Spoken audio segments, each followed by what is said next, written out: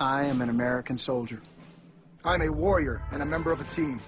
I serve the people of the United States and live the Army values.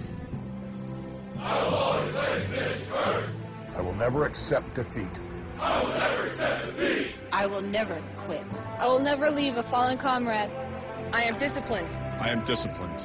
Physically and mentally tough. Trained and proficient in my warrior task and drill.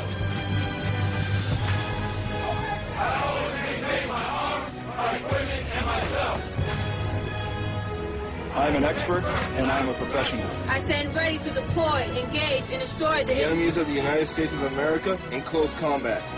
I am a guardian of freedom and the American way of life. I am an American soldier.